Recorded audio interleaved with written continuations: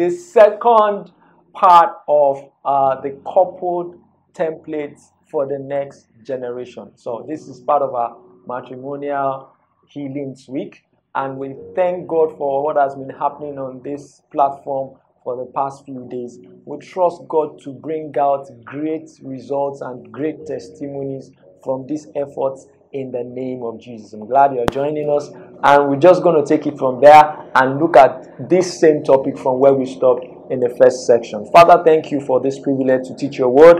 I ask that you grant us illumination in our hearts to see how you actually intend to raise children, to raise the next generation from our lives in the name of the Lord Jesus. Grant us the grace to understand your concept and your principles that we may make a, a, a greater success uh, than, than our predecessors, than, than the people that came ahead of us in the name of Jesus. Thank you, Father. In Jesus' mighty name, we have prayed. Amen. So, uh, earlier on, when we took this topic, I was talking about the fact that the way God intended to raise a next generation is by finding uh, people who they he can use like the rod that is used to train up uh, a young plant. If you listen to the first part of this section, uh, I was talking from Proverbs 22, verse 6, and that says, Train up a child in the way that he should go, so that when he is when he is old, he will not depart from it. In other words, you have a confidence that once you did the initial uh, part of his life, or part of the life of that, like like a, I was comparing it to uh, a young plant, that once you train up a young plant uh, with a rod, you don't need to continually direct it you can you can actually predict uh, how that young plant will go and the direction it will go. Even when you are sleeping in your house you are confident that once you have put the plant on the plank it will follow that plank uh, up until its uh, total height and its entire life. All right so we know that we know we compared the young plant that is shooting up to a a brand new child. And we're saying that children actually are born into a world without any particular direction. They take the traits, they take the form, they take the image of whoever they see to coil around, which by design of God is the father and the mother. So you see that we also compared, looked at it in terms of the biology. We said uh, that every every trait you see in a child, he picked it from someone. He didn't particularly have something that is outside what already existed. So we now dovetailed that message to be talking about the fact that God began the entire human race with the same concept of replication. The Bible says that in the image of God created he them. All right, so God created man in his own image and in his own likeness. So we're going to take it up today to say uh, in this topic of couple templates for the next generation to, to, to further and emphasize and entrench the concept and the wisdom that it is by the concept of template and prototype that God designed man to be produced. In other words, what I'm saying is that in producing man, what God planned in producing man is by the concept of imaging and the use of a template and prototyping. All right, so we're going to just further uh, dovetail into script that that knowledge into the scriptures and root it properly into the word of god and then we can now begin to apply it so that we can get a burden to pray praise the lord and the lord will grant us illumination in the name of jesus okay so we started reading from genesis chapter 1 verse 27 uh, or, or we, we ended reading uh, genesis chapter 1 verse 27 uh, on the first section of this discussion. And in verse 27, verse 26, he says, God said, Let us make man in our image, after our likeness, and let them have dominion over the fish of the sea, over the fowl of the air, and over the cattle, and over all the earth, and over every creeping thing that creepeth upon the earth. Verse 27 says, So God created man in his own image, in the image of God created he him. Male and female created he them. Now, in the creation of man, what we see here, uh, uh, very straight up, when God was going to make the plants, he spoke. Now, none of those, when God was going to make the animals, he spoke. When God was going to make the land, he spoke.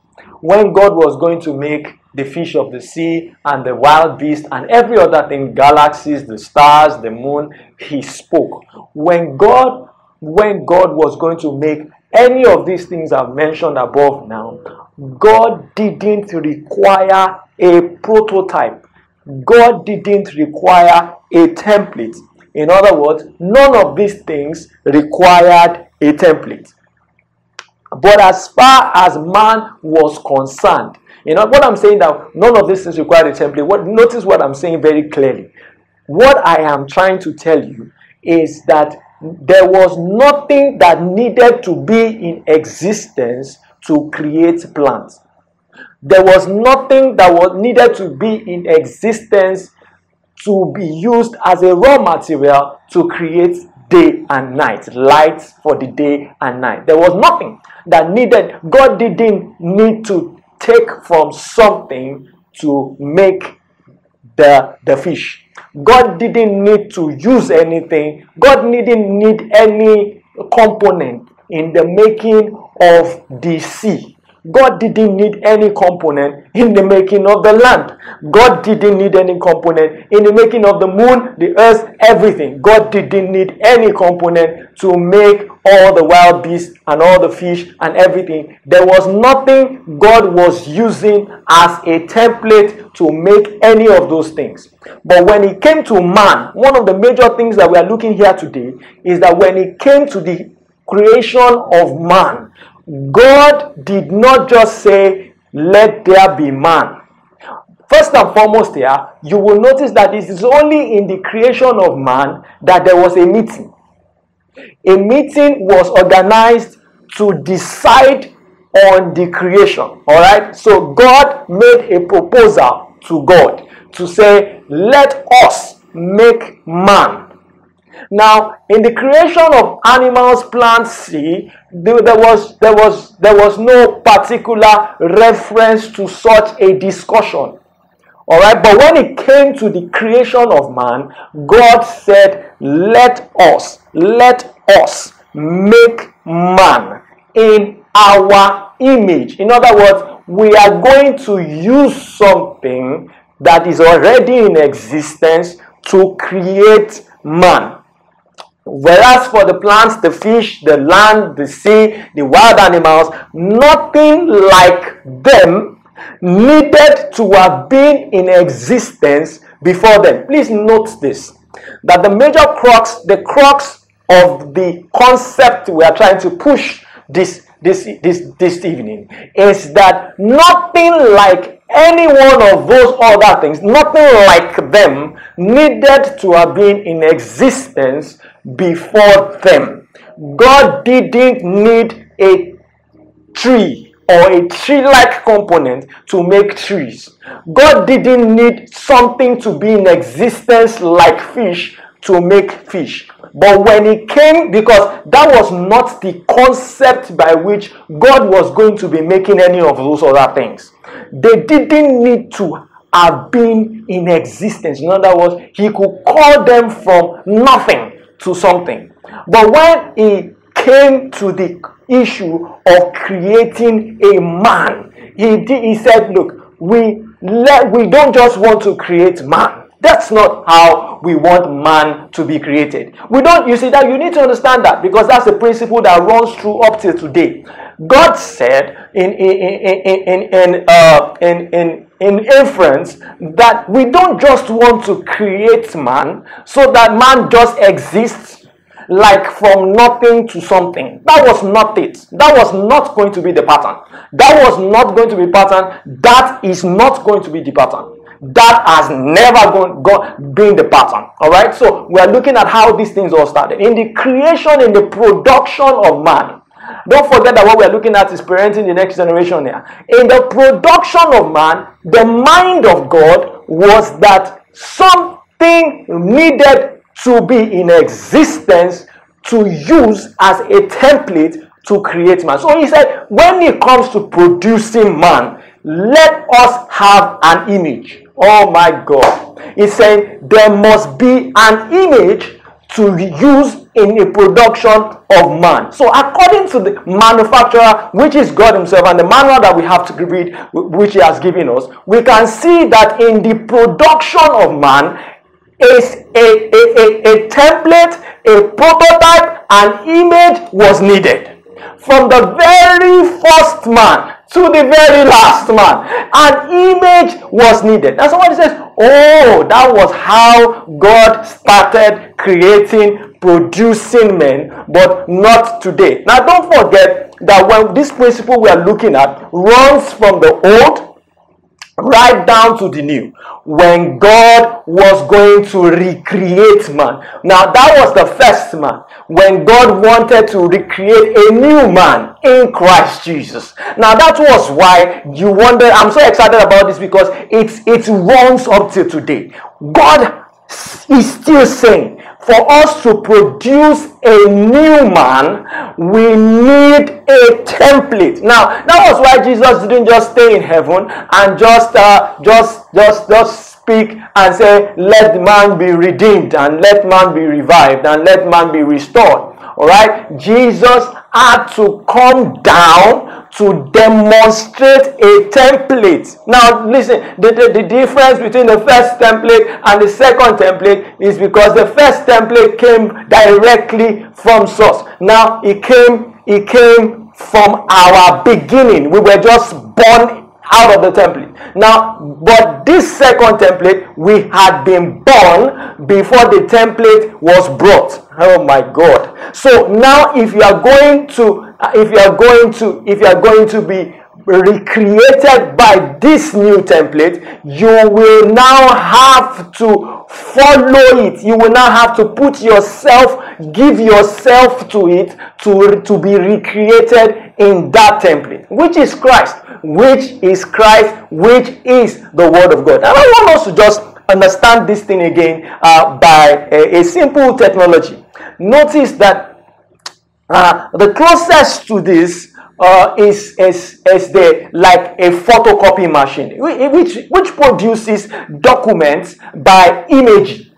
All right. So if I have a document, for example, I have I have this document, for example, and I want to uh, create a, a type of this document. Now I put this document, I can't get a photocopy of this document that is exactly a photocopy of this document without this document. That is, you cannot create, you cannot produce a man without man. You can produce tree without tree.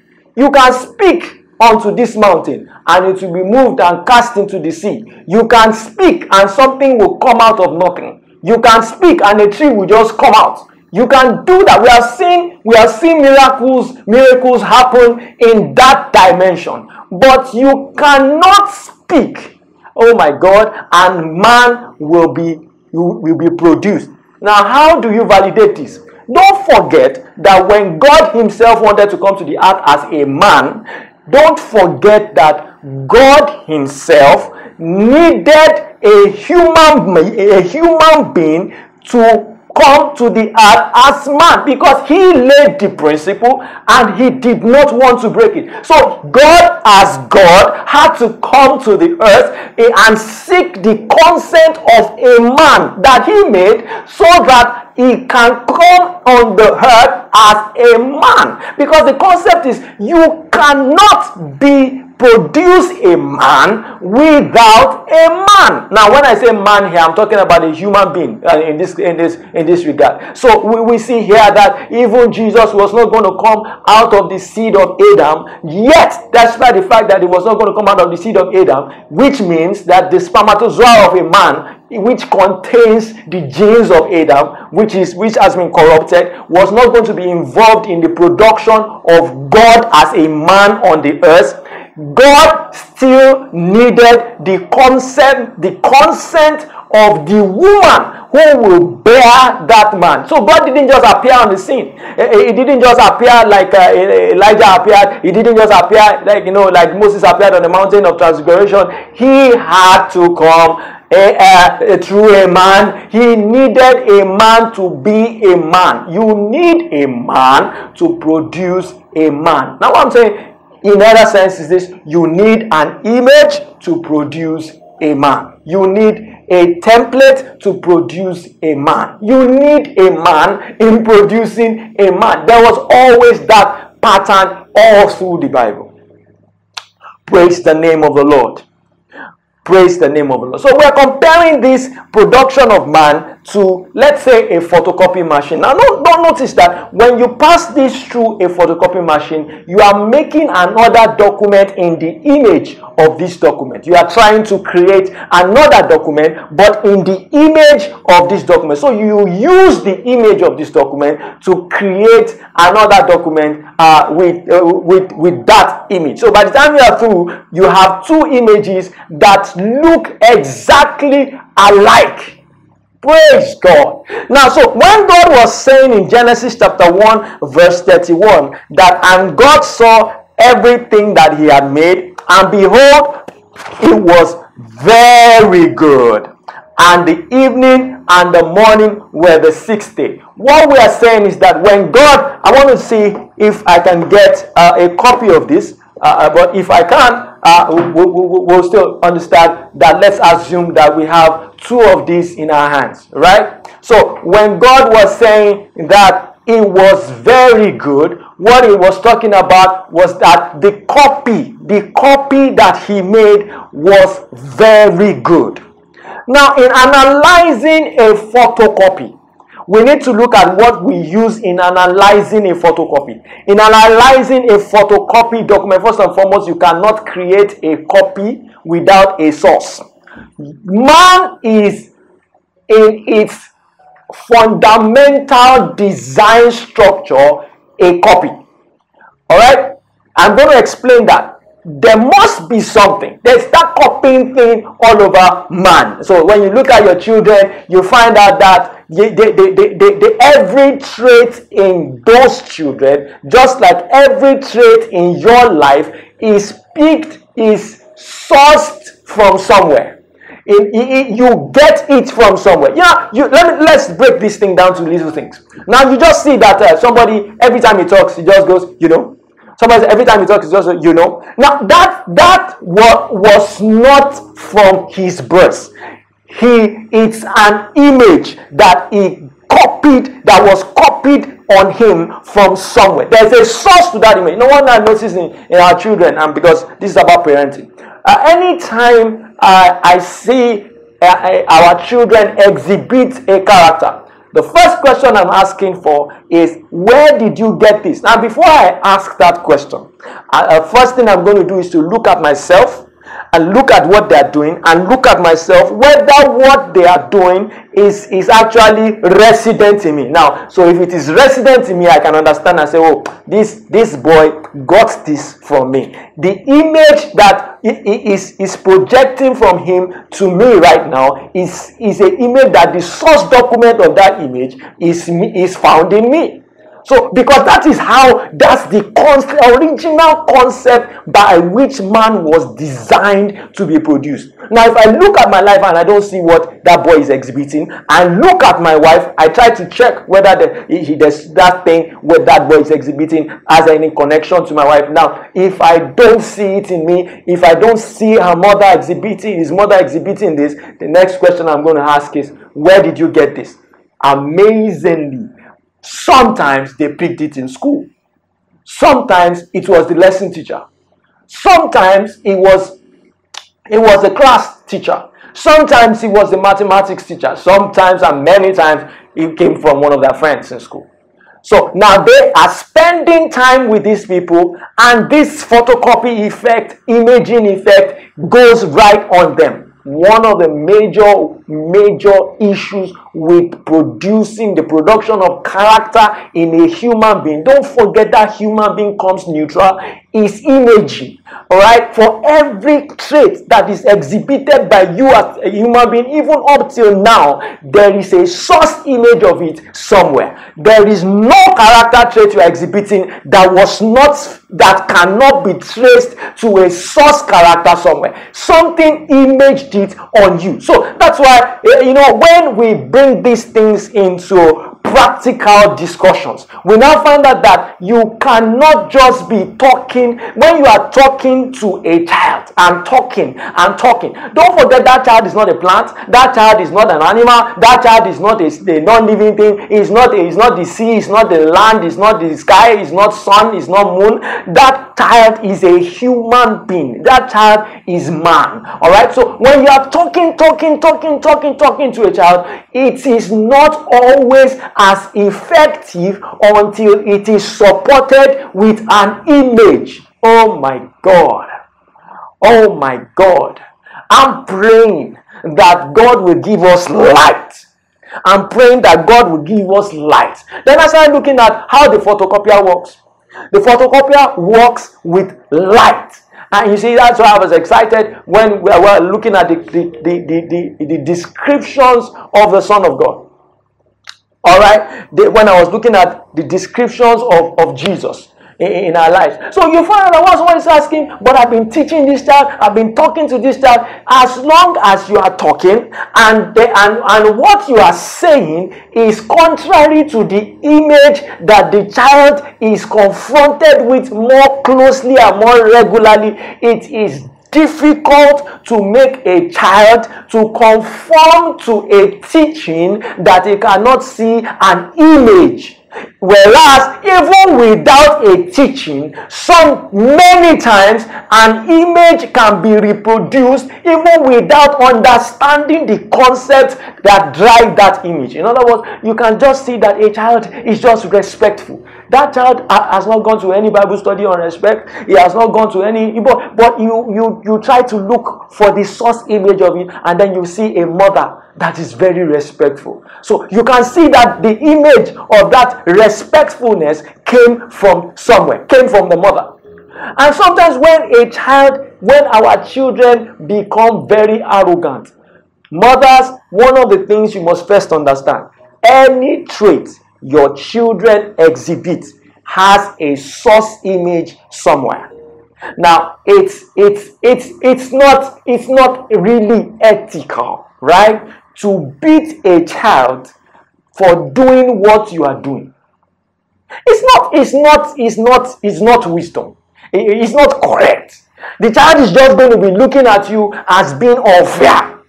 You cannot, you cannot be beating a child for doing what you are doing because you are you don't understand that that was how the child was made, was designed and structured to get his doings all right, so now every character, that's why sometimes as parents, God is more particular about working on our lives so that by the time we are having children, we are going to be producing children who He can say, All right, the template is good, the children can be okay.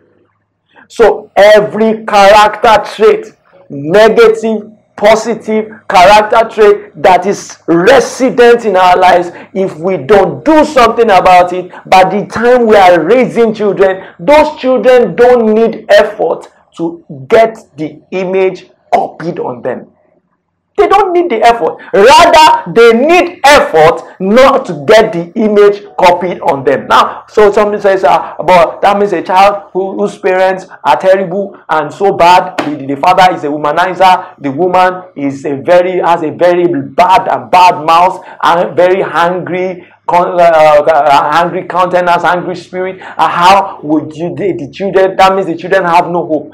The children actually have hope. Don't forget, that now we have the privilege of God giving us a temp a global template of himself available on the earth Now, apart from God, now I, I said this this way. Let me put this way. When God created the first man, God photocopied the man. Let's put it that way, right? And the man came out in the image of God. And see, God said it was very good. When you are judging the copy of a, a, a, a, source document that you pass through the photocopy machine, for example, you don't judge that copy by how what the the, the, the, the, the letterings it contains. No. You judge the copy by its likeness. You can't say no. There's a there's a there's a there's a lexical error in the spelling here. That's for the source document. You cannot be beating a copy for containing what was in the source. You can't you can't be beating, you can't be you can't be down you can't you can't judge a copy bad by by it containing something that is in the source document. So if an there's an error in the source document, you cannot see it in the copy and you want to kill the copy because it contains that error. No, actually, if you want to con, con, if you want to if you want to deal with the error or correct the error on the copy, where you correct the error on the copy is on the source document.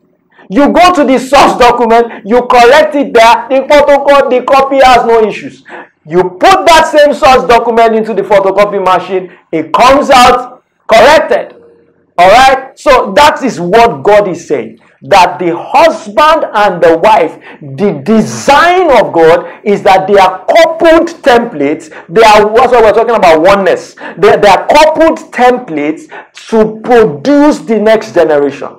And what God is desiring is that by the time these people present a proper template for these children, when they train them up in that template, by the time these children are going to be having to leave them for, for their university education and all that, they can actually sleep and be confident that those children will not depart from it. The only way you can be that confident is when whatever traits that is that is that that is produced in those children is, produced by imaging. Imaging. But there was another concept here and i would like to talk about it before we close this session. The fact that when god produced the first man after he produced the first man he put that man in a garden and he put the tree of life there. And then he put the tree of the knowledge of good and evil. Now don't forget that this this this that we're talking about, you can find it in Genesis chapter 2. The Bible says verse 8, and the Lord God planted a garden eastward in Eden, and they put the man whom he had formed. And out of the ground the Lord God made every tree that's pleasant inside, good for food, tree of life and then another tree of the of the knowledge of good and evil. It says uh, in verse 16 and the lord god commanded the man saying of every tree of the garden thou mayest freely eat but of the tree of the knowledge of good and evil thou shalt not eat of it.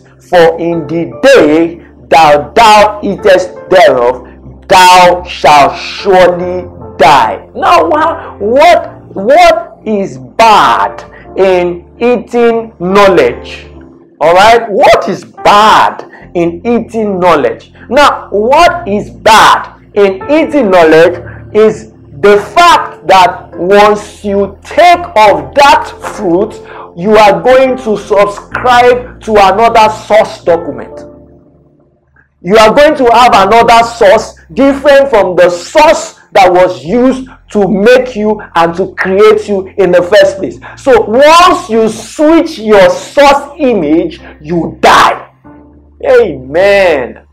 Once you switch your source image, as far as this other side is concerned, you can never, never Never. Even if what you are doing is good. You see, that's why I said knowledge of good. Even what even if what you are doing is good, it's not bad. Even if you're a very nice guy, you're a philanthropist, you do good things, you are not really doing bad things. Even if what you are doing is good, whether it is good or evil, once you switch your source image, then you died. You can never, never, never be the man that God intended, God was producing.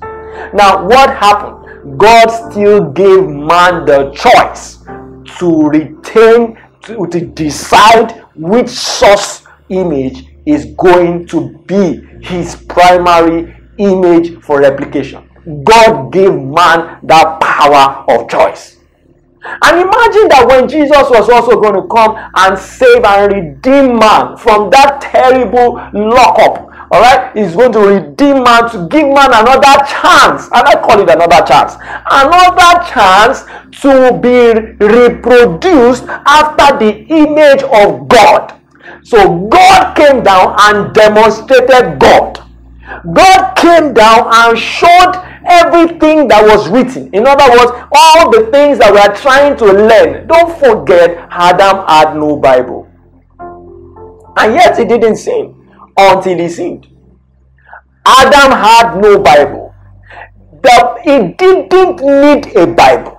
Right? He didn't need a Bible because he's, he's, he, he, he, he, he had everything in the source document was replicated in him until he changed the source image.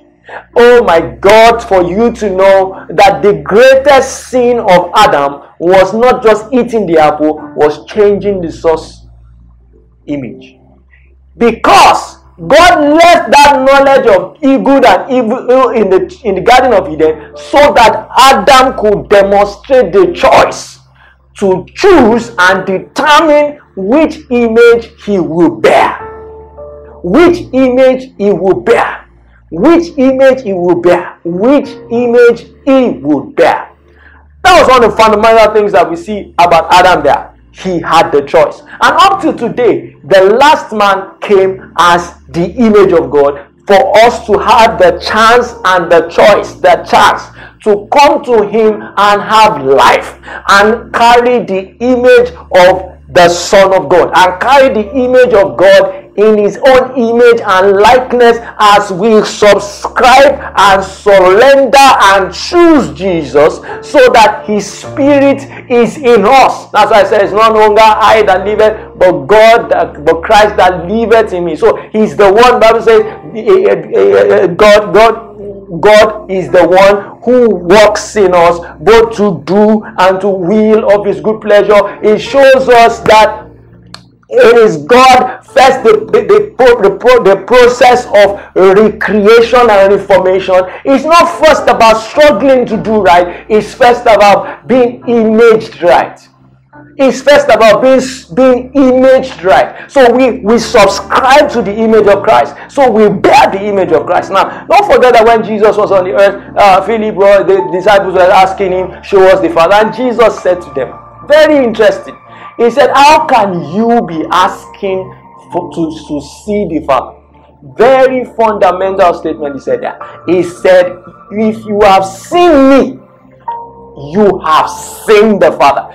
There is nothing on the source document of the Father that is not here. Once you see me, you have seen the Father. And it was very, very, very, very heavy statement, very profound statement there that Jesus said, If you have seen me, you have seen the Father.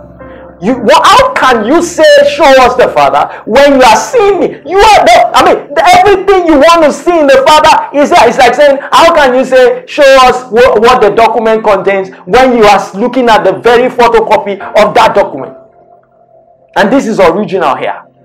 All right. So, and, and, and, and these things are now what we use in understanding how to train up our children.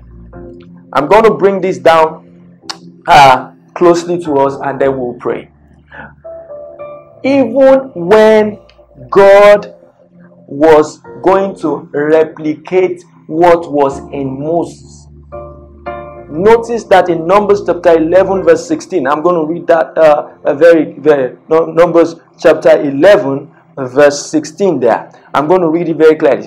And the Lord God said unto Moses, Lord said Moses, gather unto me seventy men of the elders of Israel, whom thou knowest to be the elders of people, and officers over them, and bring them unto the tabernacle of congregation that they may stand there. Then he said, And I will come and talk with thee there, and I will take of the spirit which is upon thee, and will put it upon them. Now, he, God was going to create 70 kinds of Moses, and God was not just going to talk to them, all right, I commission you, I commission you. No, no, no, no. No. You, it was not designed to happen that way.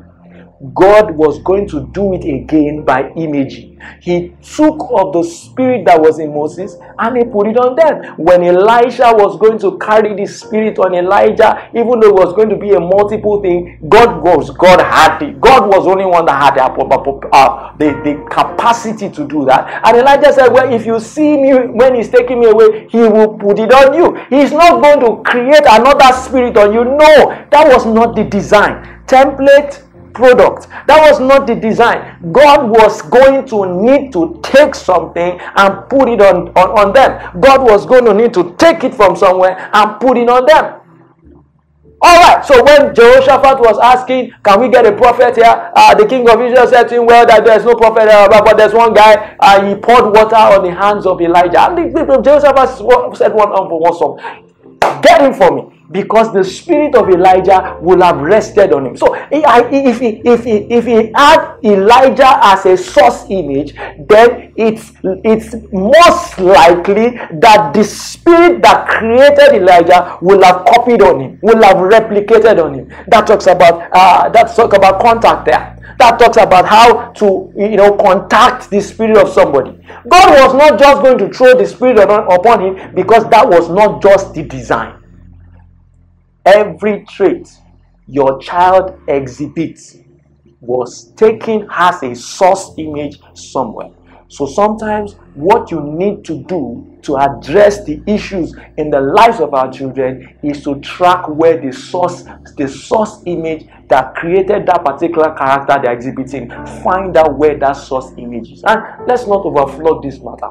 That's why you need to trust god to make sure your image is correct than expecting to have a better copy than the source copy you cannot really be correct to be expecting to have a better copy, a better copy in terms of accurate, uh, uh, in terms of direction, in terms of uh, uh, uh way of life. You cannot, you are not authorized to be expecting. You can have, and I'll tell you the only reason why you, you can have, if that child has another source, another source image somewhere different from you.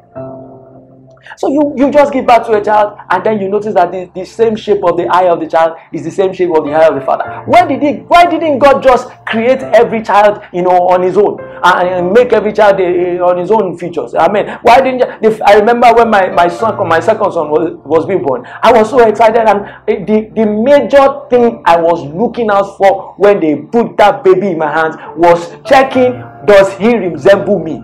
Because I really wanted a son that really, really, really looked like me. That's how I know that that's what what God really intended from Adam. I mean, because He put the desire in our hearts. I mean, we are just like him, so we are made in his likeness. So, I mean, I just, I was particular about having a, say, a boy just like me, look just like me. So, I mean, a sound just like me, everything. I, and I was going to be excited in seeing my mirror without, without using a mirror. That was the plan of God for men. If you look at Ephesians chapter 4, you you will you will see that one of the things that made Jesus to come to the earth is that he might feel all things, that he might look just like the way God created heaven and earth. He wanted to look at the world and see seven billion of himself. He wanted to look at the earth and see seven billion of himself. I want to ask you, if God should create five million people just like you, how will this world look like?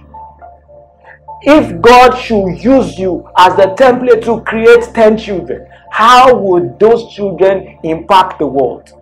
If everybody was to be like you, what kind of world would we have?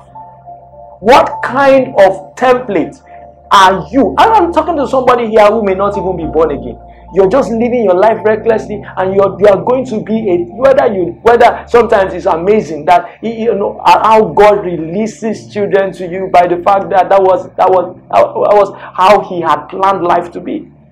Those children that are already given to you by God, by the time they are going to be coming, by the time they are going to be downloaded, even I, I preached somewhere a message and I said, even if you don't like, even if you don't want to live right, why can't you just consider the children that will come out of you who just have to come out of a template? Why should children be unfortunate that they were born in your house? Why should those children find themselves in a situation where the kind of marriage they are going to to to to, to have imaged in their in their in their in their in their in their in their gen, gen, gen, gen, gen, genes spiritual genes is a terrible marriage why the kind why would children be unfortunate that it's an they, uh, they they will enter the world and become a hungry personality because they were born into an angry photocopy an, an angry source document? Why would they why would those children be unfortunate that they will naturally have tendencies to be immoral because they were born in your house? If those children were born in some other places they may not be like that they may not they will naturally take the image they see that was the design I have been more blessed by people who demonstrated scriptures to me than people who were just talking about it. We have too many people talking about marriage. We have too many people talking about how to live. We have too many people talking about parenting. We are not seeing as much. And yet, it is the imaging, is the imaging, is the imaging concept that God designed that originally there's nothing as easy as you as, as, as spontaneous as it to create other better other other other products other creations other reformation other formations of men. I pray that as we bow down our heads to pray tonight something will happen to you you will sit tight in your heart and trust god for an encounter i'm praying that God will reform us. While we have been begging God to reform our children, for daddy, why should your son be like you?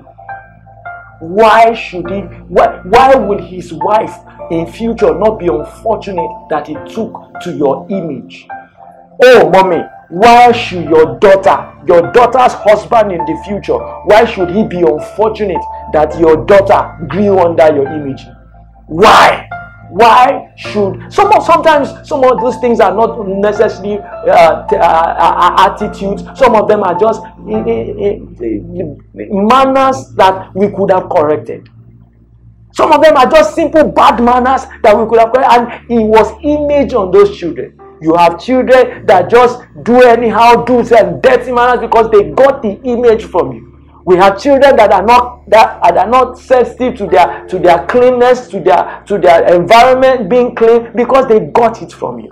Why should children be unfortunate that they were born to be taking the image of a wrong father or a wrong mother? Rather than correct those children, I challenge parents today. Let's correct the image that is placed in front of this children. Don't forget Jacob, he created new animals by putting the animals, the, the picture they should, the color they should bear right in front of them by imaging. He recreated the genotype, the gene structure of animals by creating, by putting it in front of them by the same concept of image.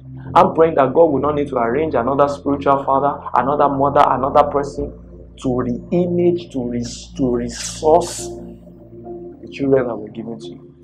I, I look at my life today and I thank God that God granted me the opportunity to find another source image. This is not the image of my father. There were many things if I had taken from my parents, I will not be like this. But there are some good things I took from them too. And I'm praying that I will not have bad things to image on these children because they will need to ex- expect expend more effort to to break it down and take up another one. I pray, Father, in the name of Jesus, bless us tonight, bless us today, change us forever. If anybody here wants to give your life to Christ, you want to submit yourself to the photocopy of heaven, I pray that this will be the beginning of new things. That even your children will see the change and recopy the change. They will see the change and recopy the change. In the name of Jesus, we are prayed. Amen.